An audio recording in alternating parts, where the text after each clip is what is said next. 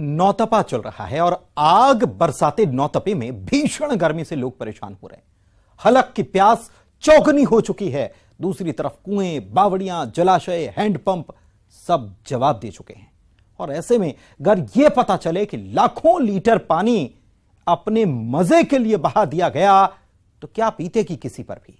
ज़ाहिर है, भरी गर्मी में किसी का भी खून उबाले मारने लगेगा। लेकिन लगता है कि कुछ लोगों को इससे कतई रत्ती भर भी फ़र्क नहीं पड़ रहा।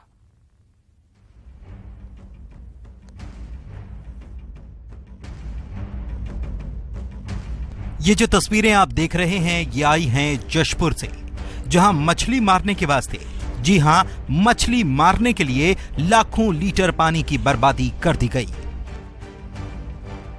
ये मामला बादलखोल वन्य अभ्यारण्य के गाय लुंगा गाँव का है, जहाँ स्टॉप डैम बनाया गया ताकि पानी का संचय किया जा सके। लेकिन शरारती तत्वों ने इसके गेट खोल दिए ताकि वो मछली का शिकार कर सके।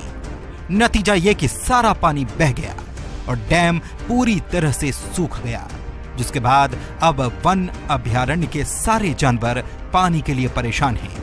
यहाँ वहाँ भटक रहे हैं।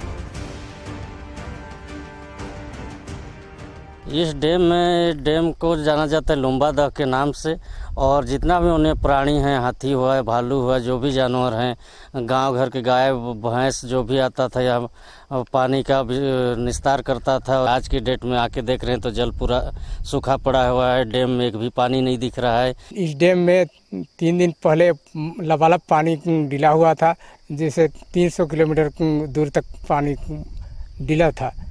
उसको आज आकर देखते हैं तो इस डैम में एकदम पानी सब सूख गया है। बताया जा रहा है कि मछली मारने वाले कुछ शरारती तत्वों के द्वारा यहाँ पे डैम का दरवाज़ा को खोलकर और पूरा पानी बहा दिया गया और मछली मारा गया। जशपुर ज़िले के बादलखोल वन अभ्यारण्य के अंदर सैकड़ों की संख्या में जंगली जानवर मौजूद हैं और इन जंगली जानवरों के लिए यहाँ पर जगह जगह पर पेयजल की व्यवस्था की गई है। जगह जगह पर स्टाफ डैम और तालाब का निर्माण किया गया है ताकि गर्मी के मौसम में भी जंगली जानवरों को पेयजल की समस्या का सामना न करना पड़े। इस वक्त हम पहुँचे हैं गायलुंगा गाँव में। और गैनुगा गाँव के लुम्बा जाता में यहाँ पर आप देखिए ये स्टाफ डैम बना हुआ है और इस स्टाफ डैम का पानी जो है पूरी तरीके से सूखा हुआ है। अभी से तीन दिन पहले यहाँ पर इस डैम में रबाजब पानी हुआ करता था, लेकिन अब ये डैम पूरी तरीके से सूख चुका है। यहाँ पर कुछ शरारती तत्व और मछली मारने वाले लोगों ने डैम का गेट खोल दिया और डैम का गेट खोलने के बाद यहाँ पर मौजूद लाखों लीटर पानी व्यर्थ बह गया। कुछ ही दिनों के भीतर पानी की बर्बादी का ये दूसरा मामला है। वो भी उस मौसम में जब इंसान, जानवर, पेड़, पौधे, हर किसी के लिए एक एक बूंद की कीमत है। ये तस्वीरें चंद दिनों पहले की ही हैं।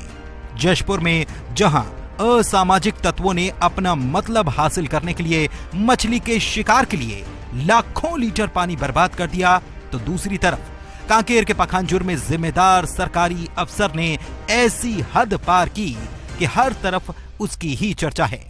अफसर का नाम है राजेश विश्वास, जो खाद्य निरीक्षक है, और पखानजुर घूमने आए इस अफसर का मोबाइल।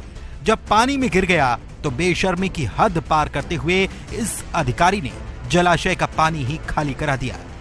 लाखों लीटर पानी महज एक मोबाइल की खातिर बर्बाद कर दिया गया। जिससे न जाने कितने एकड़ खेती सिंचित हो सकती थी। तीन दिनों तक मोटर लगाकर यह सब चलता रहा, लेकिन मजाल कि किसी ने चू तक किया हो। अब बाद में जब मामला बढ़ा तो खाद्य निरीक्षक को कलेक्टर ने जाँच कर सस्पेंड कर दिया है। लेकिन जशपुर के मामले में अभी तक पता नहीं चल सका कि वो लोग कौन थे जिन्होंने मन मर्ज़ी दिखाते हुए स्टॉप डैम के गेट खोलकर सारा पानी बहा दिया।